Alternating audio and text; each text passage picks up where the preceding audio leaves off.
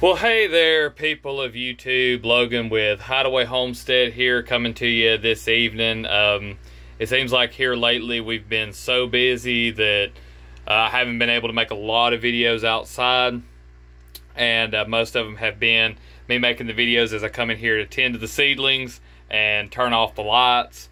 So um, at least I'm getting them in. I didn't get one in yesterday. We had the mushroom inoculation workshop yesterday. Uh, got tons of pictures from that. I'll probably post some of the pictures. And um, I was going to do a little bit of a live stream, but things were kind of hurried. Um, had some people uh, ask for a live stream, and I think that's a really good idea. Plan on doing it uh, this next weekend. Going to tell people there's really nothing I don't think in a public space you can do legally uh, to get anybody in trouble for you know being on uh, video or whatever. But uh, we want to make sure that there's anybody that doesn't want to be in the video, you know, to let them know, hey, we're going to live stream some of the explanation that I'm going to give at this next workshop of, you know, as far as doing the process of inoculating the logs. So be looking forward to that. Uh, if you're interested in doing the mushrooms, it'll be cool to be able to see it. it nothing beats hands-on. Our uh, workshop yesterday was huge hit. Everybody had a great time. I had a great time. Um, we took all kinds of gardening stuff and sold that. Got to meet a lot of gardeners, uh, people that are into agriculture too. It was just a great experience, you know. Talked and met to uh, talked to and met a lot of cool people, and uh, uh just had a good time. It was a long day. Uh, yesterday, I woke up with some bad stomach cramps and uh, took some pills, and that helped but then uh, later last night, I guess the pills wore off. I figured I'd be over it, but I had some pains this morning. I've even had some this afternoon, and so uh, last night I didn't get any.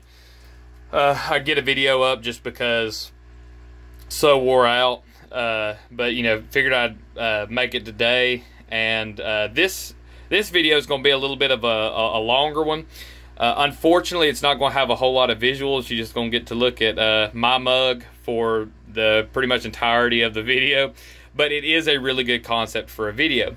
And um, I think this might be a not a series but a reoccurring video just uh, because of the suggestion that was made so miss sean suggested that i make a video of um, what are our homesteading goals and what are the steps we're taking to fulfill those goals and also um, what you know my systems that i've got set up cost and what uh, i'm going to do in the future to lower that cost so uh, miss sean's been following the channel for a while so uh, she knows that i'm all about lowering the cost um, now, as far as lower, lowering the cost, I, am talking about monetarily. Like, there's still work that's put into a lot of these systems, but it's work that's going to pay off years down the road. So, after the mushroom workshop, we got to talk a little bit about trees. I did a little presentation on that and talked to people, did a little bit of a Q&A, talked about coppice and pollarding, um, doing living fences, a lot of stuff, and um, I got to talk about some of the systems I'm going to be putting into place. So I'm going to start off with the goals, though. So we do have some specific goals uh, for this year. And I'm, I'm a huge fan of Joel Salatin, and he's got a couple of books. One, uh, uh, the first one that's kind of like the beginner's book, uh, business book, and then there's a second one that's you know kind of more the advanced. The first one is You Can Farm, and the second one is Your Successful Farm Business. Uh, two excellent books. And one of the things that he talks about in there is he talks about goal setting. He talks about having, you know, to-do lists and really, you know, breaking down goals. Like if you've got a yearly goal, you have that yearly goal and then you break it into what you're going to get done every month. You break that down into days and then you do like, you know, daily tasks to get those goals done. And that's something really we need to work on. We do have, you know, a, a pretty set goals and we, you know, make plans and stuff, but I'm kind of the type of person that just goes at and goes and goes and goes, but I really do need to set more goals for individual things to make sure that I'm also um, tackling everything kind of at, at the same time because uh, when you do homesteading or any kind of like small farming, there's just a lot going on. Even if you only got like, let's say you only raise chickens. Let's just say, you know, you've got just laying chickens, but there's so much to get that system into place and so many different things that you need to do um, to, you know, accomplish that. It's not like you can just say, well, I'm just going to focus on this and then when it's done, I'll go and do the next thing. It's like, no, well, the chickens are still going to need tending to. They're still going to need to be fed or they're going to need to be shifted through paddocks, whatever it is that you've got as far as a system set up. So, what our goals this year, I'm going to try to give this in the kind of uh, just what it is that we're wanting to get done by the end of the year on this video because I think going into like what our tasks are monthly and you know daily and what our daily checklist that would just be far too long and it would probably bore some people. Now um, breaking them up into smaller videos uh, that might be a really good idea. But uh, anyway, some of our main goals is uh, right now we're working on the mushroom business. That's kind of been the main focus right now.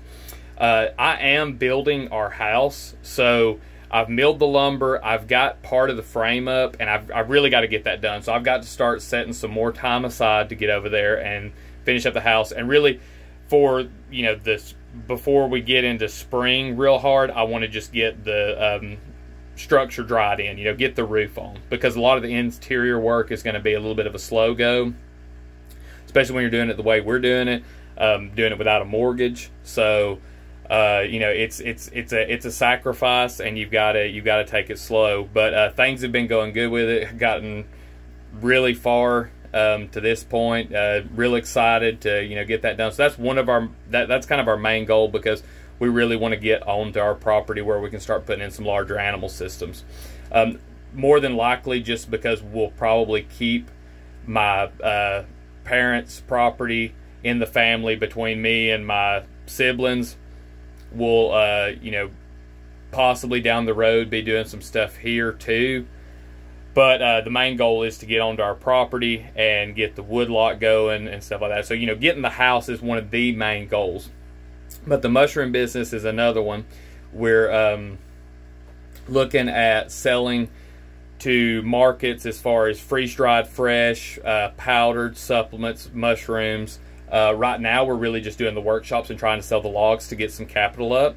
Uh, that's going pretty good, and uh, you know I've got I've got two great business partners that I'm working with on that, and uh, things are going real smoothly so far. You know that you're always going to have hiccups and challenges anywhere, but uh, that's kind of one of our you know main goals is to get that to where it's a, a viable business.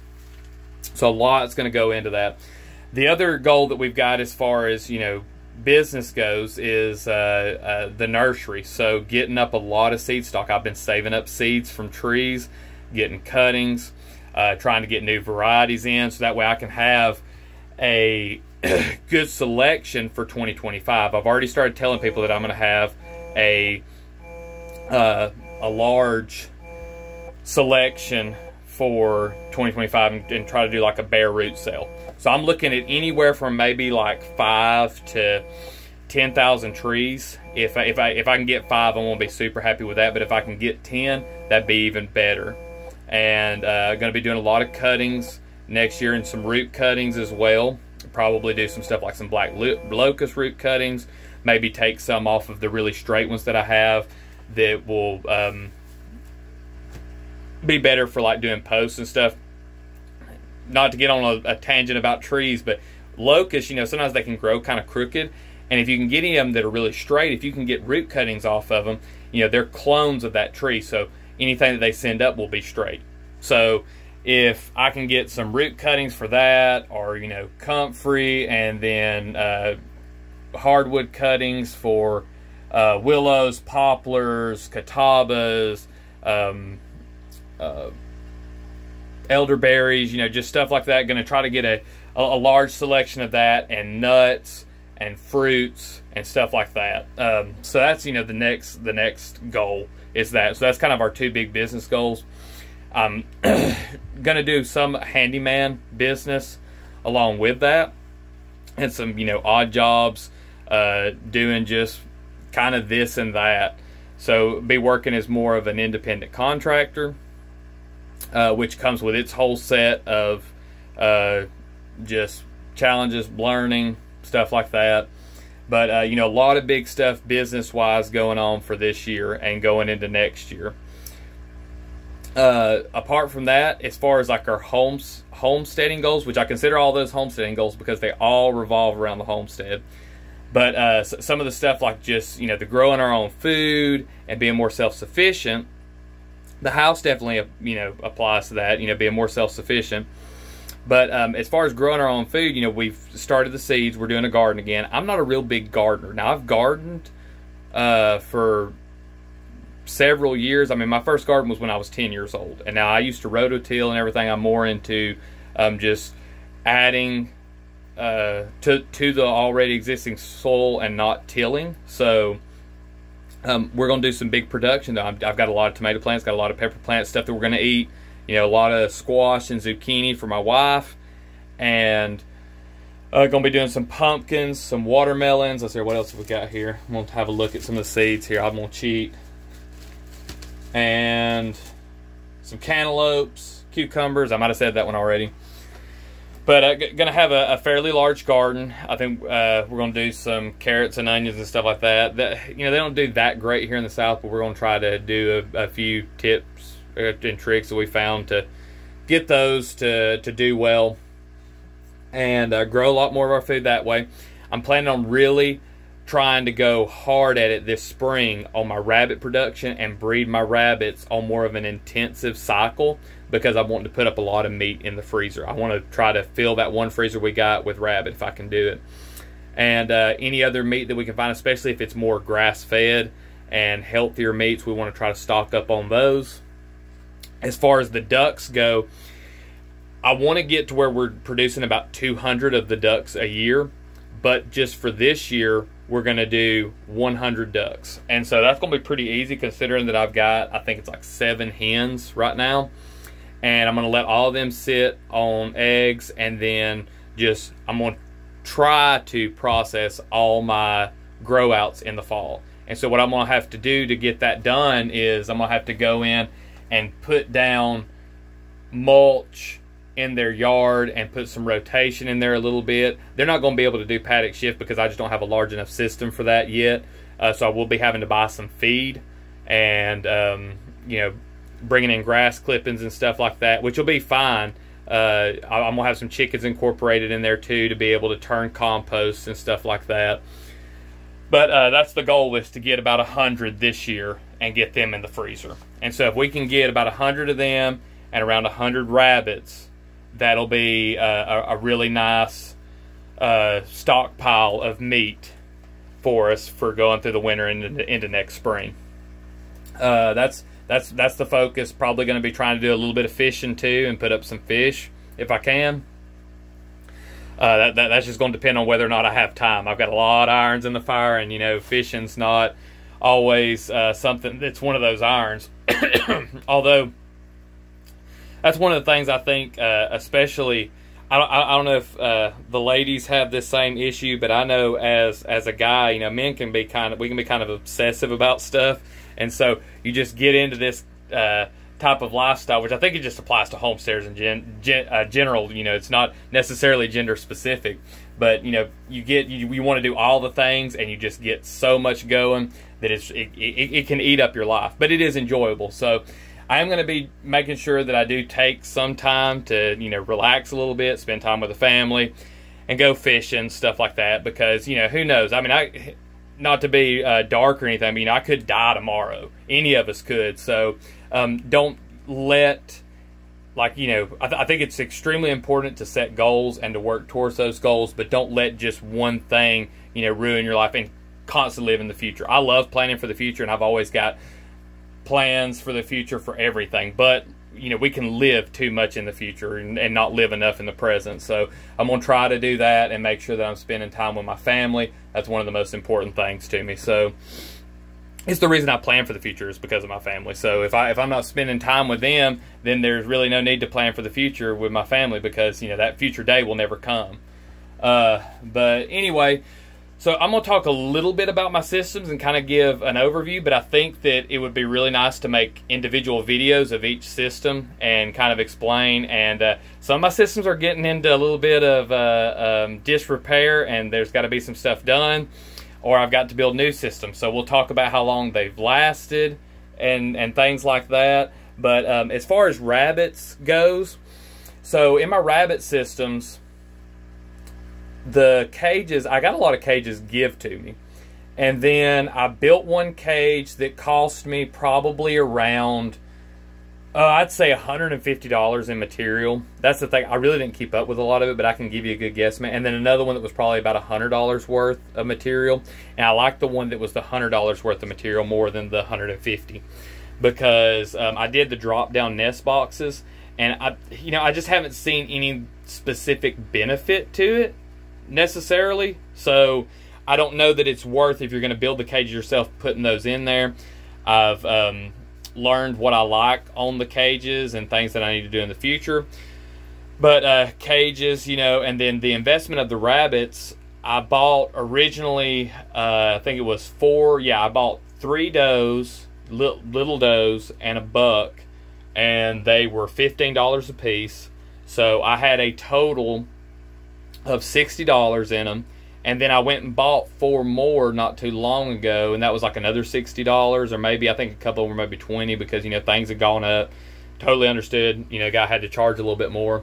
Uh, I think they might have been older too, so he had a little more feed in them. But I um, bought, you know, let's just say $60 more, $80 more so we're right there to like 140, 140, and then you know you count all the feed and stuff. Now my first rabbits though, I fed them mostly just mulberry and from the yard, you know mulberry leaves, and then just grass clippings and stuff like that. And I did not buy a lot of feed at first. Um, and then I really upped my production on the rabbits and didn't up my production on the fodder, and it got away from me. If I had, you know, just like a buck and two does, I don't doubt that during the summertime around here, I could feed everything. I could probably feed everything now um, during during the summer, but as far as putting up fodder for the winter, um, I'm still not there. So that's one of the ways that we're going to get our rabbit production up. Is I, I am planting a lot of fodder trees. I was going to try to sell some of those bigger willows that I have, but I'm thinking about selling maybe just a few, and then I'm going to plant most of them. And uh, so I've got to get that going and get those planted to get those fodder systems, really and truly, if you want to do it on the cheap, you can go around and find local willows if you want to do it for rabbits now. And you can take cuttings, get started with that. They're going to grow slower, so plant more. But um, you know the the willows do great, and uh, if you can get them, uh, I'm I'm about to be to where I really can't sell cuttings because they're all leafing out. But uh, there's still some time if anybody was interested. Uh, you know, just email me. I, I try to drop my email in the comment or uh, the description on the videos. Sometimes I forget.